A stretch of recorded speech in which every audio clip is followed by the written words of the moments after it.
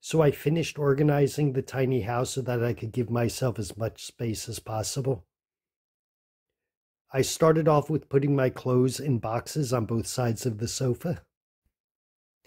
Here, I used a really ugly neon green carpet because I originally bought it for the back of the truck for when I go camping, but I never used it.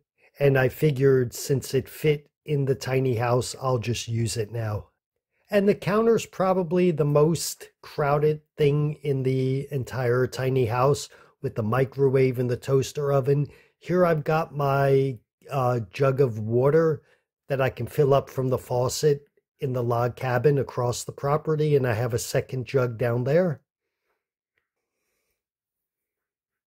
And here I just have the refrigerator and a couple of shelves to put some food and some other things and there's some uh, blankets and towels for when I go to the laundromat to take showers. So I think I pretty much freed up a lot of space and I was happy with how this worked out.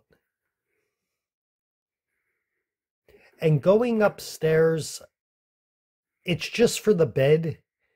And I really didn't want to put anything else up here. I may put a rug up here next to the bed but other than that, I didn't want to put boxes and have stuff stored up there because then it'll just get in the way when I'm waking up in the morning. So, my biggest concern with this tiny house is it's not going to keep warm when it's minus 30 or minus 40. But that's something I really can't do much about now or think much about now.